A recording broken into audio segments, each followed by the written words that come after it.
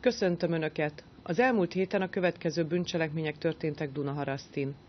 Eljárást folytatunk ismeretlen tettes ellen, aki február 17-én 14 óra 20 és este 8 óra közötti időben Dunaharaszti Barostéri MÁV állomás kerékpártárolójából lakatlevágás módszerével eltulajdonította a képen látható Between Rockrider 340 C5 típusú rikító narancssárga színű öszteleszkópos férfi vázas kerékpárt. A lopással okozott kár 60 ezer forint. Eljárást folytatunk ismeretlen tettesek ellen, akik február 7-e és 20-a közötti időben egy Dunaharaszti cég telephelyéről eltulajdonítottak 7 darab kontinentál típusú pótkereket. A bűncselekménnyel okozott kár 900 ezer forint.